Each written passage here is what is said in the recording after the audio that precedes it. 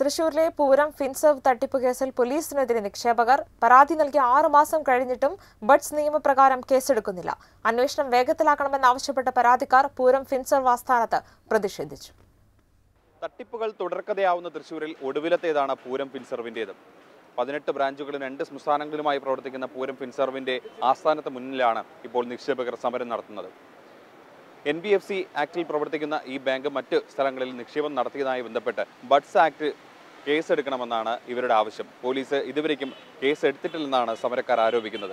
First of all ഇത് R B I regulated ആണ് പിന്നെ ആർ ഒ സി രജിസ്റ്റേർഡ് ആണ്. ഇന്നത്തെ ആ വിശ്വാസത്തിലാണ് നമ്മൾ ഇതിൽ ഇൻവെസ്റ്റ് ചെയ്യുന്നത്. നമ്മൾ ഡെപ്പോസിറ്റ് അതായത് ഡിബഞ്ചർ കടപ്പത്രം എന്ന് പറയും. ഇത് മെച്യൂരി ആയിട്ട് ഒരു വർഷത്തിൽ മേലായി. അതായത് ലാസ്റ്റ് നവംബറിൽ ആയി. ഏതാണ്ട് ജനുവരി തൊട്ട് നമ്മൾ മാസ് പെറ്റീഷൻ മുഖ്യമന്ത്രിക്ക് ഡി സി പിക്ക് കളക്ടർക്ക് എല്ലാവർക്കും കൊടുത്തുകൊണ്ടിരിക്കുന്നതാണ് ആറ് മാസം കഴിഞ്ഞ് ഏതാണ്ട് ജൂണിലാണ് നമുക്കൊരു ഫസ്റ്റ് എഫ് ഐ ആർ ഇട്ടത് ഇതിൽ ആ എഫ് ഐ ആർ ഇട്ട് ആൾക്ക് അതിൽ ഒരു ആന്റിസിപ്പേറ്ററി ബെയിൽ കൊടുത്തു. അത് ഹൈക്കോടതിയിൽ നിന്ന് ഗ്രാൻഡ് ചെയ്തു. അതായത് ലോ ഡിസ്ട്രിക്ട് കോർട്ടിൽ നിന്ന് അത് റിജക്ട് ചെയ്ത് ആൾ ഹൈക്കോടതിയിൽ പോയിട്ട് ഗ്രാൻഡ് ചെയ്തു. അതിനുശേഷം ഇതുവരെ ഒരു ആക്ഷനും ഇല്ല. അതായത് ഒരു ചാർജ് ഷീറ്റ് പോലും എടുത്തിട്ടില്ല. ഒരു ഇൻവെസ്റ്റിഗേഷൻ നടന്നതായിട്ട് നമുക്കറിയില്ല. ഇവരുടെ സബ് പബ്ലിക്കലി അവൈലബിൾ ആയിട്ടുള്ള ബാലൻസ് ഷീറ്റ് നോക്കിയാൽ തന്നെ നമുക്കതിൽ കുറേ കാര്യങ്ങൾ വ്യക്തമാവും. അതായത് ഡയറക്ടേഴ്സ് നേരിട്ട് ലോൺ എടുത്തിട്ടുണ്ട്. ഇവർക്ക് കിട്ടാനുണ്ടെന്ന് പറയുന്ന പുറത്തുനിന്ന് കിട്ടാൻ ഉണ്ടെന്ന് പറയുന്ന തുകകളിൽ കുറേ തന്നെ ഈ ഡയറക്ടേഴ്സിന്റെ ലോൺ തന്നെയാണ് അതിൽ. നിങ്ങൾ ഇപ്പോൾ എത്ര രൂപയാണ് നിങ്ങൾ നിക്ഷേപിച്ചിട്ടുള്ളത്?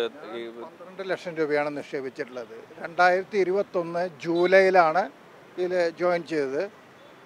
രണ്ടായിരത്തി ഇരുപത്തി രണ്ട് ജൂലൈയിലേക്ക് മെച്യൂർഡായി അന്ന് മുതൽ ഇതിനു വേണ്ടി കയറി ഇറങ്ങാണ് പൈസ ചോദിച്ചുകൊണ്ട്.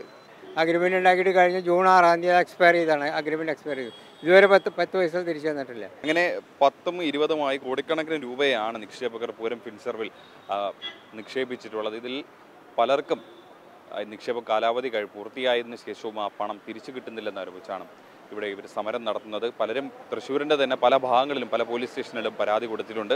ആ പരാതി കൊടുക്കുമ്പോഴൊക്കെ തന്നെ ഇവിടുത്തെ ഉടമ അനിൽകുമാറിനെ വിളിച്ചു വരുത്തി. ഈ പണം തിരിച്ചു കൊടുക്കുമെന്ന് ഉറപ്പിൽ പോവുകയാണ് ചെയ്തത്. പക്ഷേ ഇതുവരേക്കും കിട്ടാത്തത് കൊണ്ടാണ് ഇവർ ആസ്ഥാനത്തിന് മുന്നിൽ സമരവുമായി എത്തിയിരിക്കുന്നത്.